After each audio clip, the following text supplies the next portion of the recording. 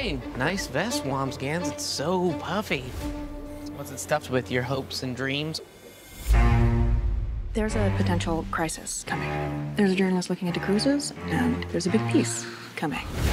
Let's finish the job before this breaks. How long do we have? Hours, maybe minutes? Can you persuade her to ink it here tomorrow? If Nan gets cold feet and you can't buy us, your dad could lose control.